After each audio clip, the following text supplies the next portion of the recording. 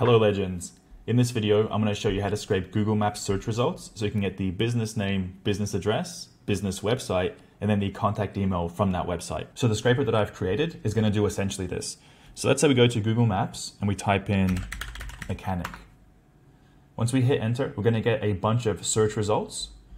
So the script is going to go through each of these search results and then it's going to click on the search result, find the website, then it's going to click on the website, and then on the website, it's going to scroll through and try find a contact email address. So in this case, we actually have an email address here called mitcham.auto at optusnet.com.au. So the scraper would then go through all the search result listings and then create an Excel file with all of this information. If you've never run code on your computer before, the first thing you want to do is download and install VS Code, Visual Studio Code.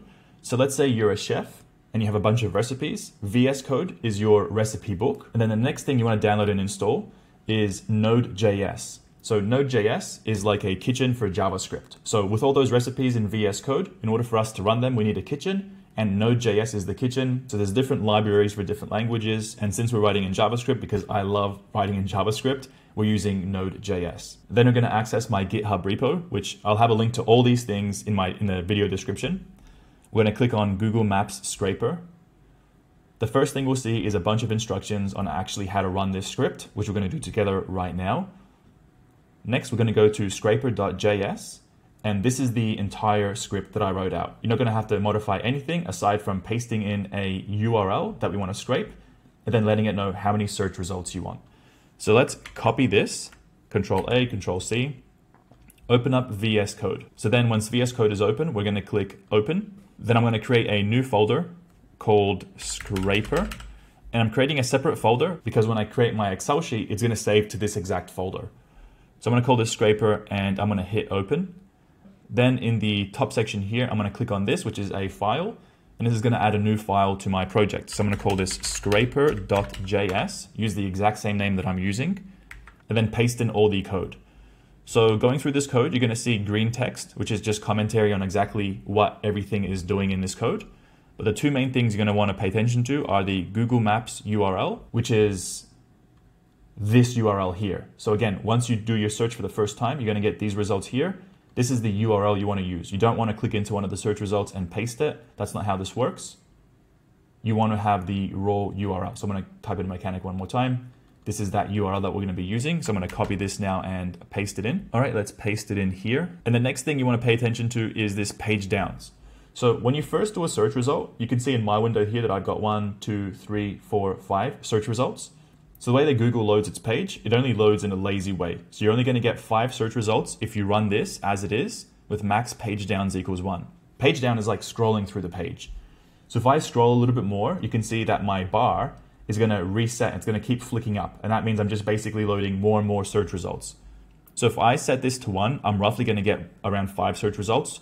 But if I set this to two or three or four, it's like I'm compounding and getting another five search results each time. I recommend just starting out with page downs equals one, just so you can see how this process works. Other than that, whatever I explained to you before about clicking on one of these, clicking onto the website if it's available, then going to the website and getting the email address, that's what the rest of this code does. So you don't need to worry about too much of this at all, in fact. Uh, the next thing you want to do is go onto terminal in the top bar and click new terminal. And now this is our kitchen. So our kitchen is set up. Back in the GitHub repo, we have some more instructions we need to follow. So let's go back into the instructions area and we need to install Puppeteer and XLSX. Puppeteer is the functionality that's going to enable us to actually scrape the website. And then XLSX is the functionality that's going to let us create the Excel file. So you would just copy this, copy, so Control C, go to your terminal and Control V, and then you would hit enter. And then it's going to install all the packages that we need to run this script. So after we're done, let me just go back to here because it's a nice visual.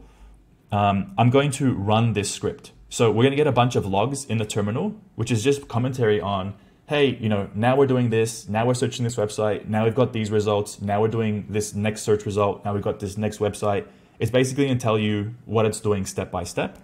So you want to type in N-O-D-E, node, and then you're going to type in scraper.js. And scraper.js is the file name. So we're basically saying, hey, node kitchen, cook this recipe. So we're going to go scraper, whoops, scraper.js, and then we're going to hit enter. Once we hit enter, we can see a bunch of logs. So let me just scroll up this page and we're gonna see, okay, we're scrolling to the bottom of the page one. We finished scrolling, we found seven results. Okay, so now we've just got a bunch of information. So we're accessing the initial Google link. So we're gonna click open here, find the website if it's available, go to the website and find some information. So as you can see here, we found Mitcham, uh, what is this? The Mitcham Automotive website. We found some email addresses. We found the email address we're going to use. Next, we've uh, gone into RapidTune. We've hit a timeout error. Okay, so if the website is big sometimes, we might time out. So we might need to edit the code to uh, increase the timeout. But for now, I'm not going to worry because for a lot of cases, as you can see, um, it's actually good enough as it is. So info at master service, generals at AANet, and then we got some more information. So we're going to finish scraping those seven files. So we got six out of seven here. Now we're on our last file here and we've got a Google Maps Excel sheet loaded up here. So I'm gonna go to my Finder, navigate to my scraper folder, and this is that Excel file that was created. So I'm gonna click it open. So out of the seven results that we scraped, we now have a bunch of contact information. So we got three that we didn't find email addresses for, and then four that we did find email addresses for. Okay guys, I hope you enjoyed this video. If you did enjoy this video, please like and subscribe to my channel. I'm gonna keep putting out videos exactly like this.